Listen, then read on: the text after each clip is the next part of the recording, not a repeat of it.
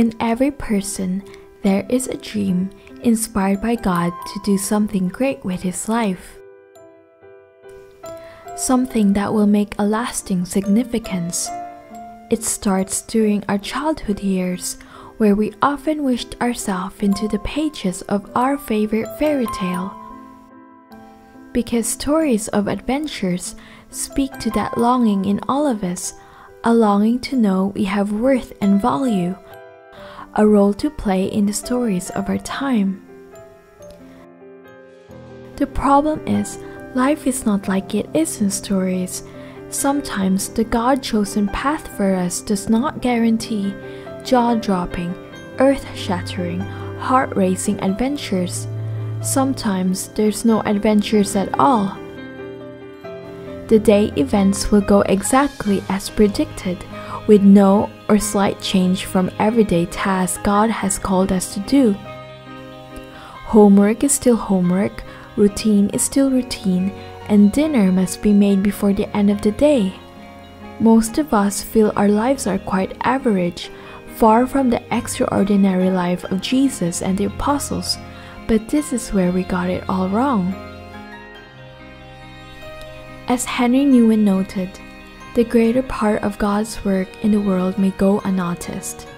There are a number of people who become famous or widely known for their ministries, but much of God's saving activities in our history could remain completely unknown. That is a mystery difficult to grasp in an age that attaches so much importance to publicity. We tend to think that the more people know and talk about something, the more important it must be.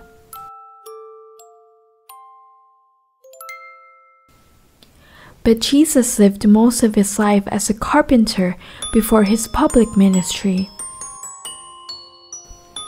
Was God displeased with Jesus when he was just doing ordinary things, like making a living? Was Jesus any less the Son of God when he was doing ordinary things? No, Joseph did no extraordinary thing.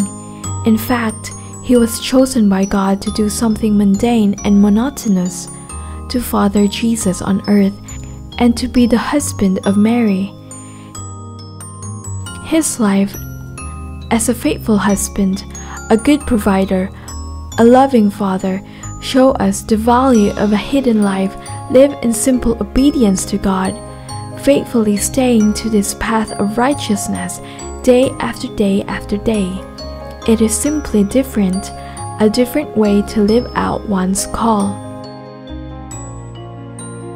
He may be overlooked by everyone else because there is not much publicity in what he does, but he is not unseen by God. As Hagar testified in Genesis 16, the God who sees me. In the words of De Caussade, what God does is always new and original. It is the action applied at each moment to produce ever new effects, and it will extend from eternity to eternity.